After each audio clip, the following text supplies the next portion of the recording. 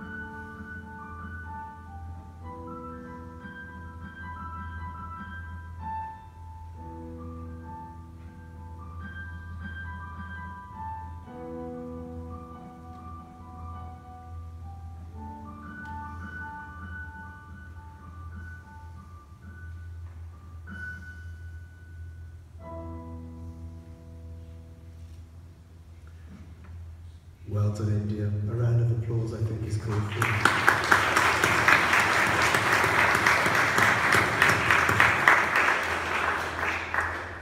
Would you please stand?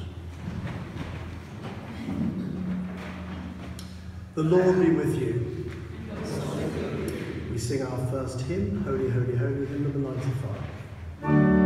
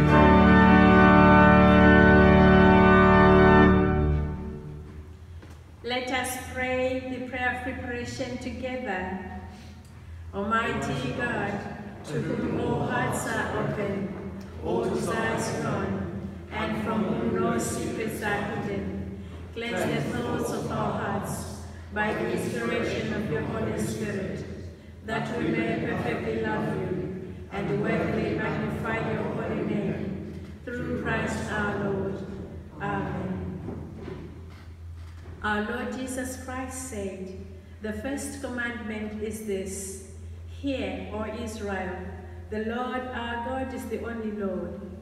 You shall love the Lord your God with all your heart, with all your soul, with all your mind, and with all your strength. The second is this love your neighbor as yourself. There is no other commandment greater than this. On these two commandments hang all the law and the prophets. Amen. Lord, have mercy. God the Father forgives us in Christ and heals us by the Holy Spirit. Let us therefore put away all anger and bitterness, all slander and malice, and confess our sins to God our Redeemer. We sit on you. And let's take a few moments just to reflect.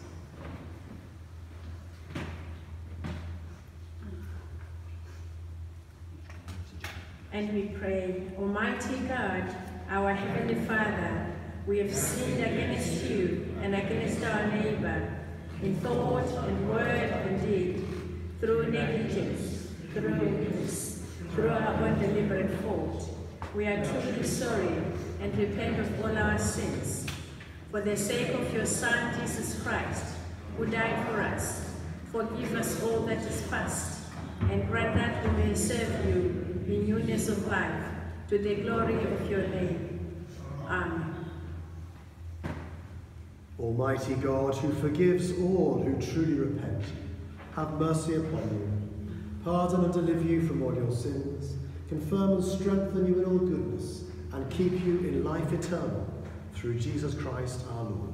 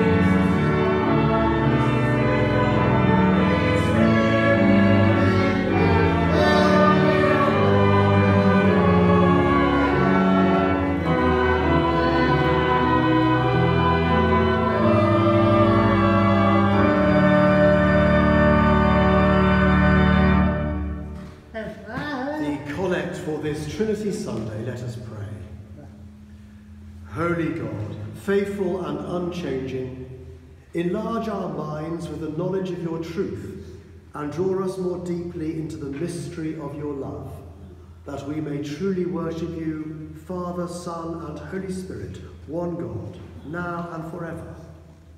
Amen. Please be seated for our readings.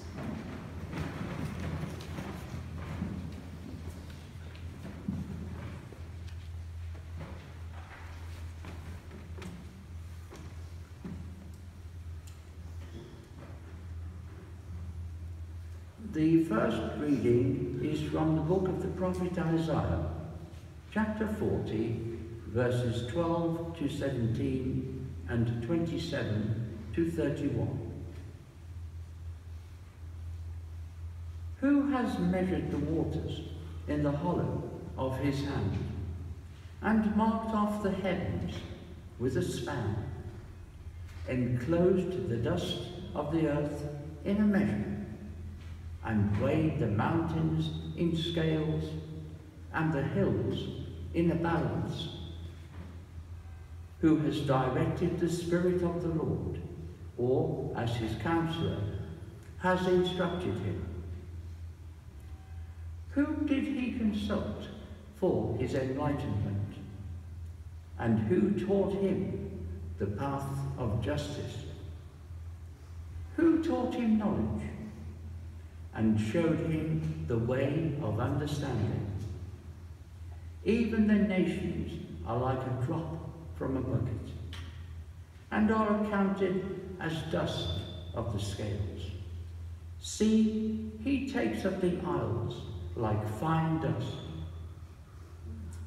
Lebanon would not provide fuel enough, nor are its animals enough for a burnt offering. All the nations are as nothing before him. They are accounted by him as less than nothing and emptiness.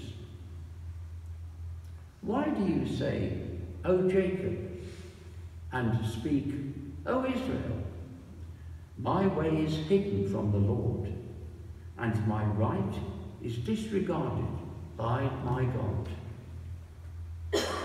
Have you not known? Have you not heard? The Lord is the everlasting God, the creator of the ends of the earth. He does not faint or grow weary. His understanding is unsearchable. He gives power to the faint and strengthens the powerless. Even youths will faint and be weary, and the young will fall exhausted. But those who wait for the Lord shall renew their strength. They shall mount up with wings like eagles. They shall run and not be weary. They shall walk and not faint. This is the word of the Lord. Thanks be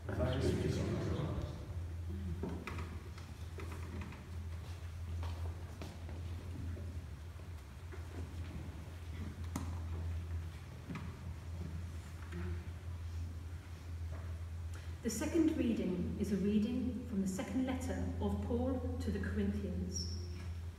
Brothers and sisters, put things in order. Listen to my appeal. Agree with one another. Live in peace. And the God of love and peace be with, will be with you. Greet one another with a holy kiss. or the saints greet you. The grace of the Lord Jesus Christ, the love of God, and the communion of the Holy Spirit be with all of you. This is the word of the Lord.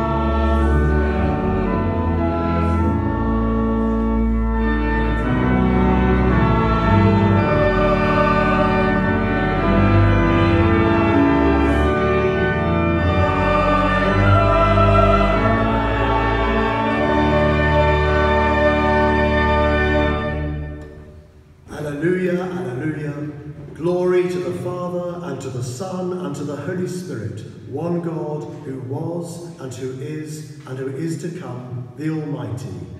Alleluia. Hear the gospel of our Lord Jesus Christ according to Matthew. The eleven disciples went to Galilee, to the mountain to which Jesus had directed them. When they saw him, they worshipped him, but some doubted. And Jesus came and said to them, All authority in heaven and on earth has been given to me. Go therefore and make disciples of all nations, baptizing them in the name of the Father and of the Son and of the Holy Spirit, and teaching them to obey everything that I have commanded you. And remember, I am with you always to the end of the age. This is the gospel of the Lord. May I speak in the name of God, Creator, Redeemer, and Sustainer. Amen. Please be seated.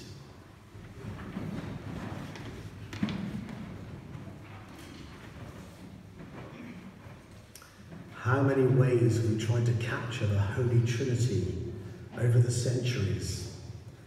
Three spring to mind the three leaf clover, which we're very familiar with, the idea of water being the form of ice, liquid, steam. But my favourite is the Mars bar because I invented it. You see, if you take away the caramel from the Mars bar, it becomes something else. It becomes a, a Milky Way. So, anyway, um, my personal favourite for the Trinity.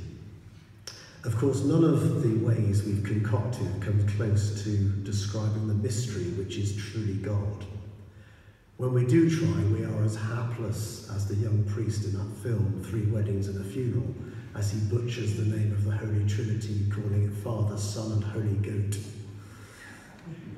We Christians can be tempted to say a lot about God, the God who is beyond our imagining, when even trying to capture God in mere words is simply an impossible task. Poor, talkative little Christianity, as E.M. Forster once described our faith in his book, A Passage to India, through the voice of a more mystical religion, Hinduism. But today is a day on which we are given no choice even given that it is a somewhat impossible task, we are all asked to do a bit of theology this morning. We are going to be amateur theologians today. Because the Christian doctrine of God is our subject for today. Anything we say or think about God is theology. Theos, Greek for God, and ology, the study of, the study of God. So do enjoy being theologians for a day as we think about God, the Holy Trinity. For centuries, certain statements have been made about God, such as uh, God pre existed chronologically, God came before all the created order, all that we see. There's even talk of a cosmic now, whereby God experiences everything in a sort of divine moment, the whole of eternity. It is said God is omnipotent, more powerful than anything in the created order and God is omnipresent, existing in all places at all times, all at once. But this cold sort of theology does not really get us anywhere as we try to live out our faith in a complicated world, and especially in our relationships, which, let's face it, can also sometimes be quite complicated. Words are finite, but truth, like God, is not. So these three words, Father, Son, and Holy Ghost or Holy Spirit, they may express some resemblance of the church's experience, but they are not the experience itself. So, for example, one person might identify God as Father, while some other person might find it more helpful to think of God as a loving parent, or even mother, or indeed Creator. It is the experience of our relationship with God that counts, not just the word used for it. If we think of the Trinitarian words as forming a box, and imagine how silly it would be to try and stuff God into that box, we get a picture of how tricky today's task is. As modern Christians, we know just how limiting words can be, so we can allow ourselves to use other words to expand our understanding of God. Greek words such as sophia, logos, or spiritus, parallel words to the ones we use such as creator, redeemer, and sustainer, as I opened the sermon with, or even metaphysical words such as energy, wisdom, light, justice. What is attractive about this approach is its freshness and flexibility. But of course, even then, it remains impossible to fully apprehend God. This is why the ancient Hebrews refused to name God, because the word, the letters are insufficient. They wouldn't even speak the name of God, exactly because speaking the name of God would limit God some of you may recall that hilarious scene in the life of Brian where they're saying Jehovah. And John Cleese gets squashed in the end by a giant rock, I think. The church itself actually is split, uh, has always been split to this day, east from west, because it still can't agree with elements of the stuff that still argues about the creed. And despite all the millions of books written about God over the centuries, the point of Christianity, thank God, has never been to figure out who God is by reading and learning, but to experience God. And the big question is the same question it has always been. How do we find God? Where do we find God? Well, for me, in short, it's in community. Just as God is a community, a community of three, but a community nevertheless and a community of love. I would encourage us all to think of Trinity as a description of that community, that experience, as well as a received truth. A relationship of love rather than some sort of formula. The goal of the Christian community, of the Christian religion, is community, which contains unity and not sameness. It's really easy to have just enough theology to condemn other people, to claim a monopoly on God, believe in a God who only acts in the ways that we think is best. It's a lot harder to have enough theology to allow us to be open to one another, allow us to grow and be transformed by one another in faith. We're often discouraged in our modern world from looking skyward for God, but there is a reason why, over the centuries, the heavens have been a place where people naturally look for God. We look up to the lights of heaven, and in them, as in our relationships, we can see and experience God. But what about all the infinite parts of the universe that we do not see? In the part we cannot see, in that lovely, enormous black or blue sky, beyond the stars and Milky Way, there is God. Father, Son, Holy Spirit, Creator, Redeemer, Sustainer, Sanctifier, Energy, Wisdom, Light, Justice, Hope, Perfection, Beauty. In what we cannot see in life, and in our relationships, in our experience, there is God still, hidden yet eternal, far off yet immanent there is God, the God who we can never own, but only pray that we might be owned by him. Amen.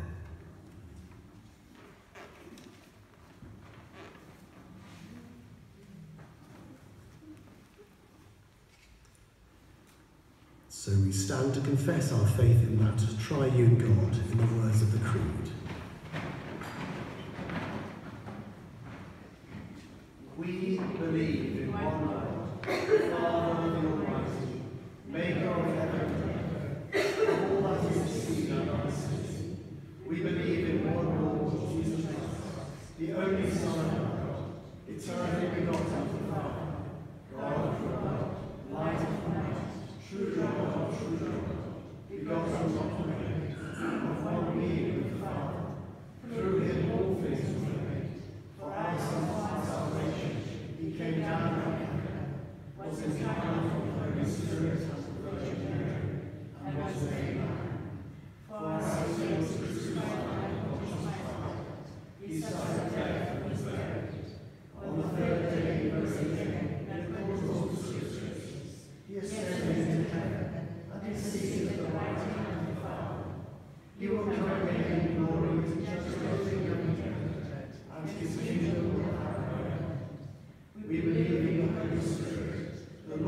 giver of life, who proceeds from the Father and the Son, who with the Father and the Son is worshipped and glorified, who has spoken through the prophets. We believe in one holy Catholic and Apostolic Church. We acknowledge one baptism for the forgiveness of sins. We look for the resurrection of the dead and the life of the world to come. Amen. Please sit or kneel for our prayers.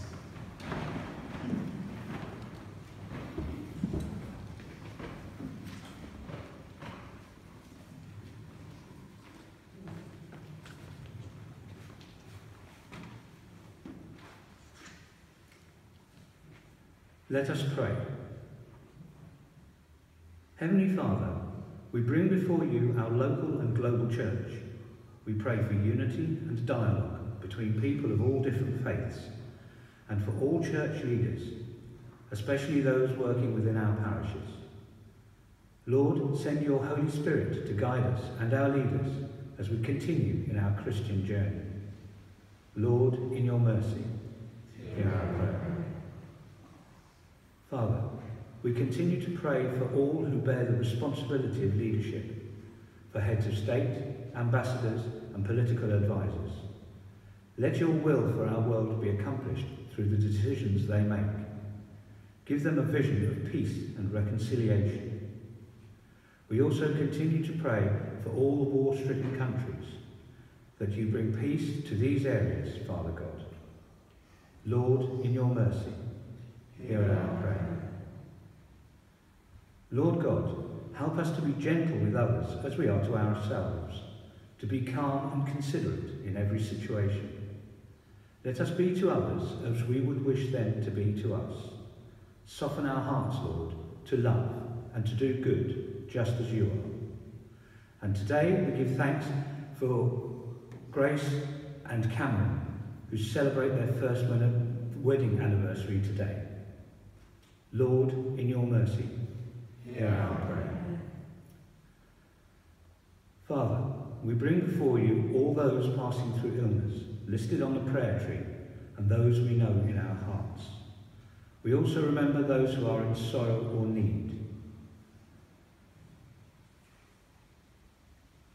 Today, we continue to pray for David and Sonia Parker, Katie and Mark Sorkoff, Sylvie Marcus, Desi and John Campbell, Audrey Filsell, Mike and Daphne Knoll, Reg and Marion Huggett, Derek Poole, Ruby Atkinson, David Bishop, Carol Journeau, Martin Guest, Ray Kitchen, Simon Kinman, Lorraine Legale, and Sheila Gerner.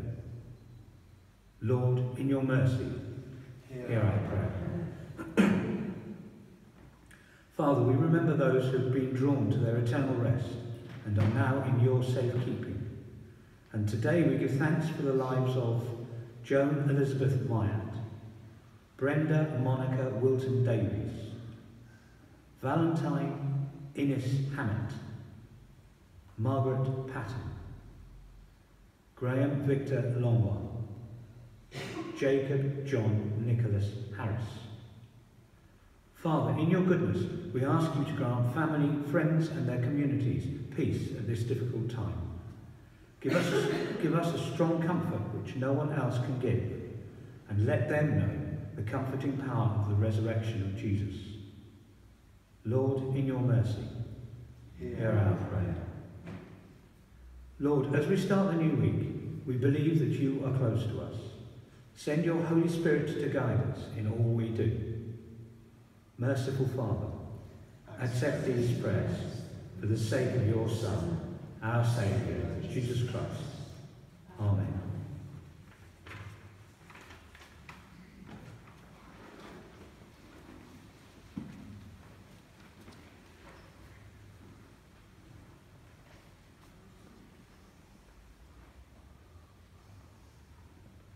We stand for the peace.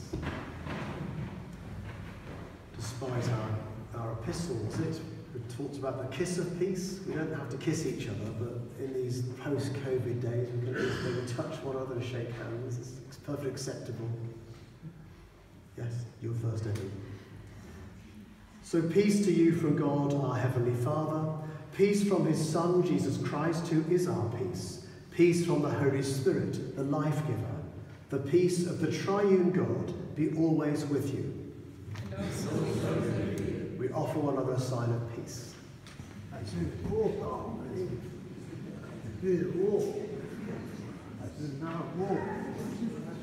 Okay, I've got to go and say peace. Okay.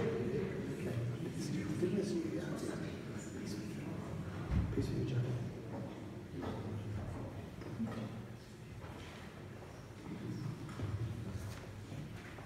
hymn number 472.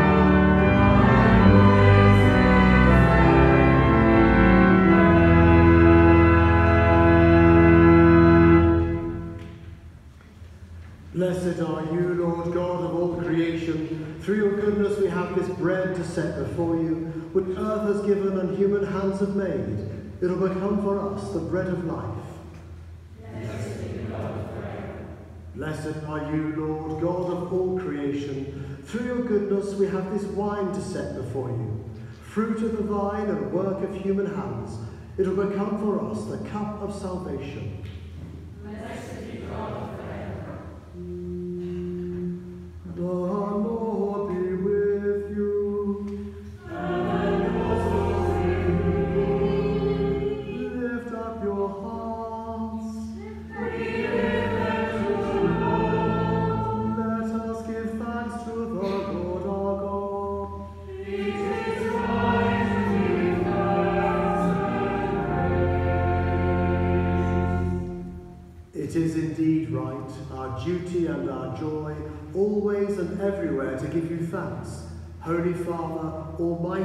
Eternal God.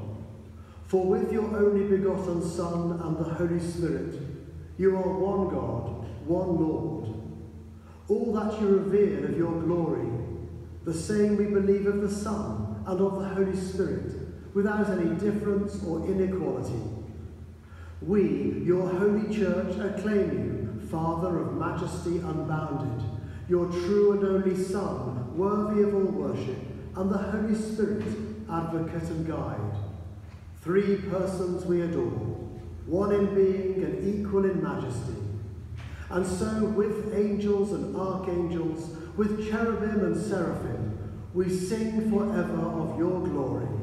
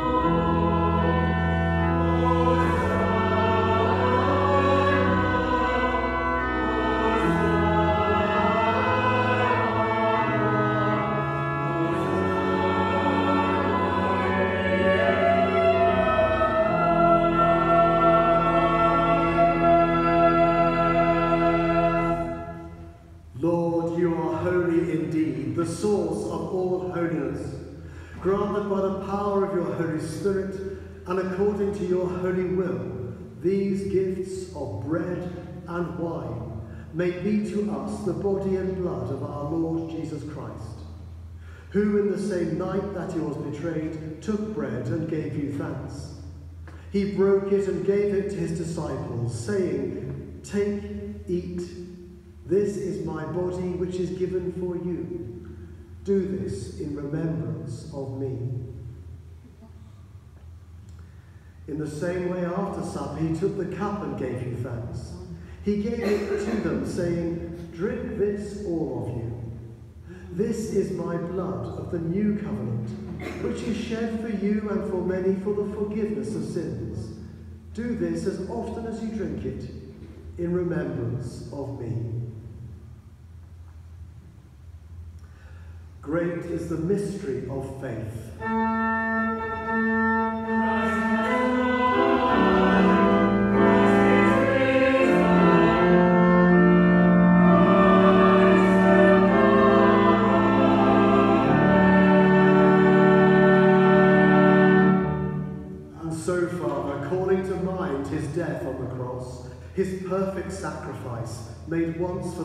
Sins of the whole world, rejoicing in his mighty resurrection and glorious ascension, and looking for his coming in glory, we celebrate this memorial of our redemption.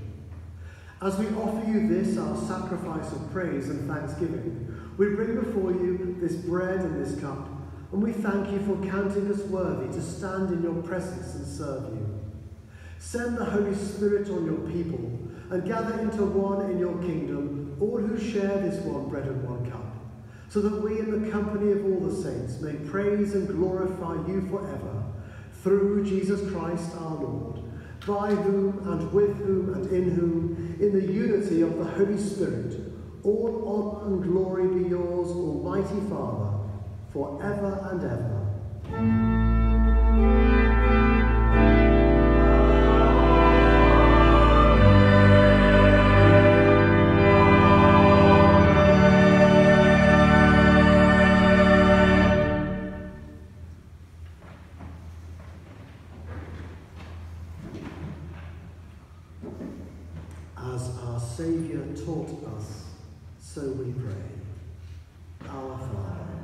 Who art in heaven,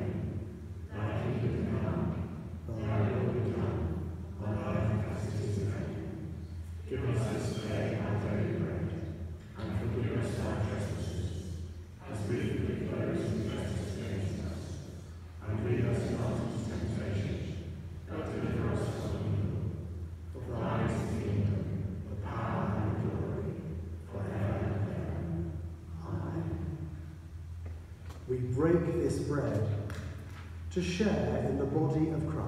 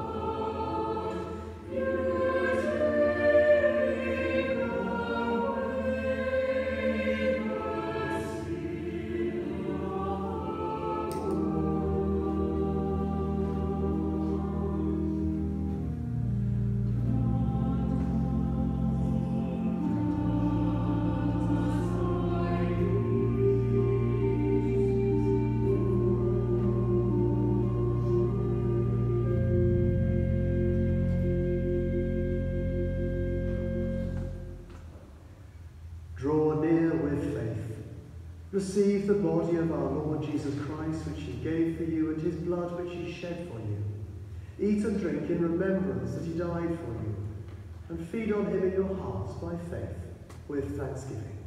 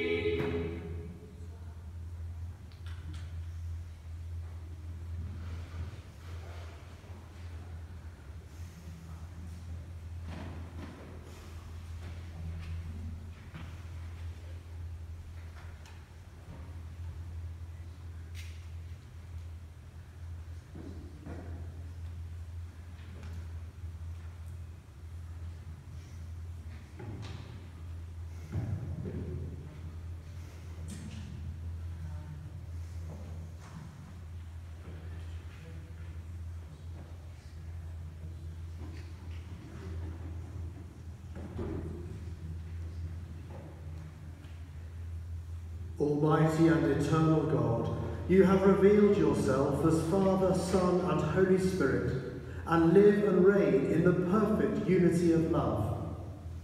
Hold us firm in this faith, that we may know you in all your ways, and evermore rejoice in your eternal glory, who are three persons, yet one God, now and forever.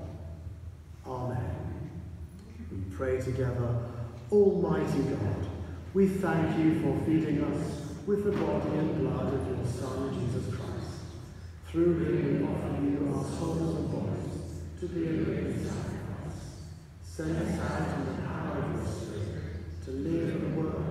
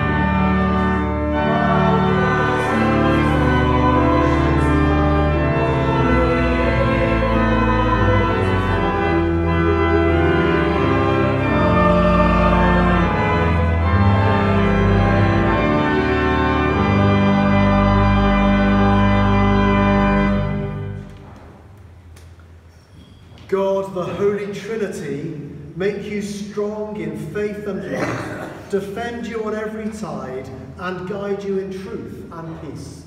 And the blessing of God Almighty, the Father, the Son, and the Holy Spirit be among you and remain with you always. Amen. Go in peace to love and serve the Lord. Alleluia, alleluia. In the name of Christ, alleluia, alleluia.